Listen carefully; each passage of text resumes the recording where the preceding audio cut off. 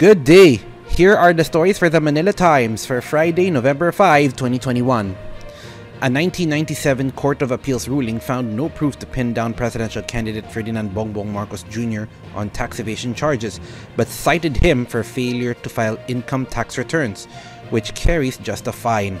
The October 31, 1997 ruling of the court's Special Third Division was penned by then Associate Justice Gloria Paras as the division's chairman and concurred by Associate Justices Lourdes Tayao-Jaguros, the senior member, and Oswaldo Agcaoili, the junior member. The ruling, the copy of which was obtained by the Manila Times from the CA, affirms that Marcos paid income taxes from 1982 to 1986. Retired Supreme Court Associate Justice Antonio Carpio has claimed that the son of ousted President Ferdinand Marcos committed tax violations, grounds for his disqualification as a candidate. On Tuesday, a group of political detainees, human rights advocates, and medical organizations petitioned the Commission on Elections to cancel Marcos' certificate of candidacy for president. In the 57 page petition, the group claimed that Marcos, the Partido Federal ng Pilipinas standard bearer, is not eligible to run for public office after the Quezon City Regional Trial Court convicted him in 1995 for tax evasion.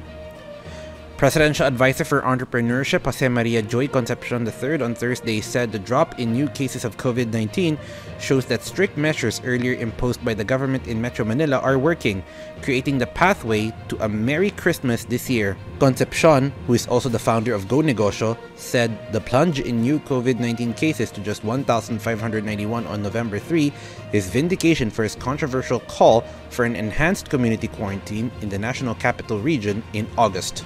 Some private hospitals threatened to stop dealing with the Philippine Health Insurance Corporation or PhilHealth unless it settles 20 billion pesos in unpaid claims.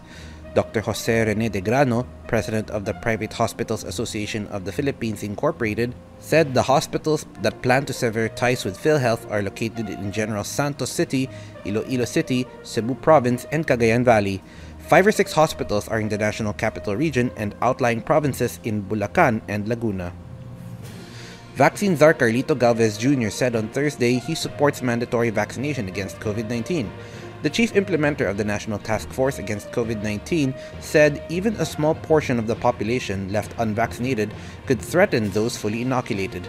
During an interview with ANC, he echoed the sentiment of the World Health Organization that not everyone is safe if everyone is not safe meaning that complete safety and protection can only be reached once the entire population has had COVID 19 shots. Galvez earlier rejected proposals to make COVID 19 vaccination mandatory, citing an unstable vaccine supply. He said a law should be enacted to compel Filipinos to get vaccinated.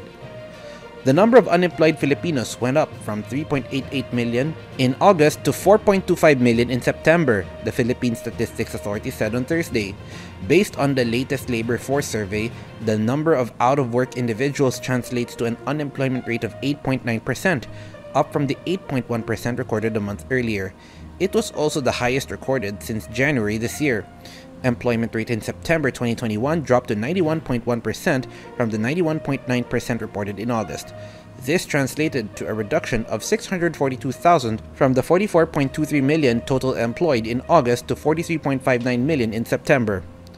Over to business, Finance Secretary Carlos Dominguez III has emphasized the significance of a blended strategy, or the sustainable orchestration of grants, investments, and subsidies to make climate finance work for its beneficiaries.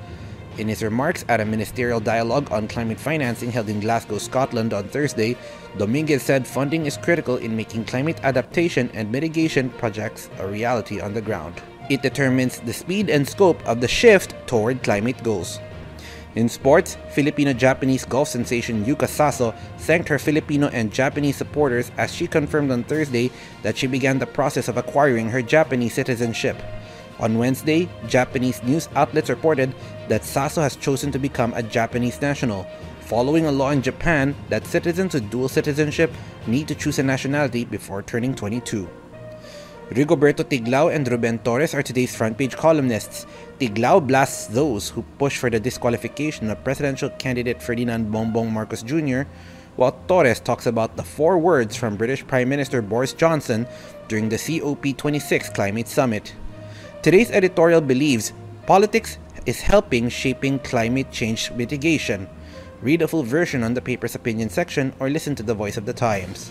For more news and information, get a copy of the Manila Times on print, subscribe to its digital edition, or log on to www.manilatimes.net. Follow us on Twitter, Facebook, or Instagram, and keep up with the Times. On behalf of the Manila Times, this is Arik John Sequo reporting. Have a safe Friday ahead.